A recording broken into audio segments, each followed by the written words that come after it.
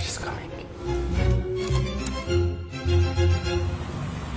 Dev is a huge City fan. She's also a part of the Houston Supporters Club. We cannot wait to give her a big surprise and hopefully she'll like it.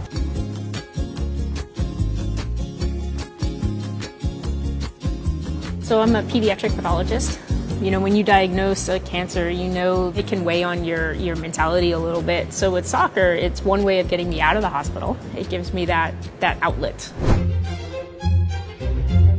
Let's make ourselves at home.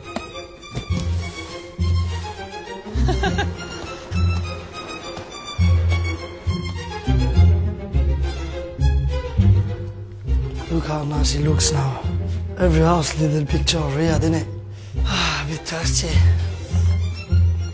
Nice one.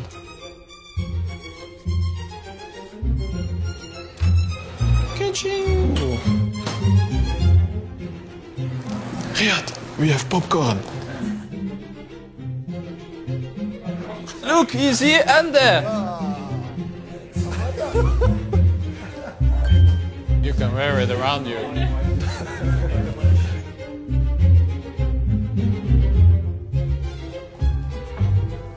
Want them? Cheers, mate.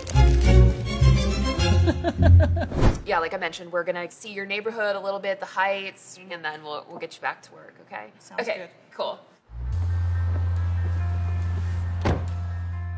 It's gonna be like, wow.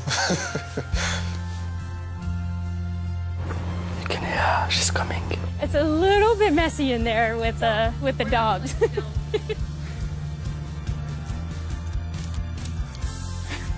Want some popcorn? Sorry, we broke in your house, sorry. it's okay. I'm sorry for the messiness. I wasn't expecting that. Are we seeing tears? Maybe? yeah. He was just like, oh my god, that's KDB, Mahrez, and Nathan. What's happening right now? and I was just like, this is actually real.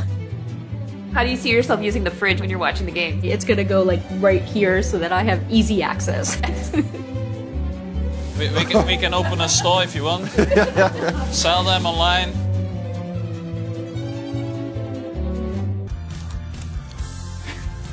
Want some popcorn? I wasn't expecting that.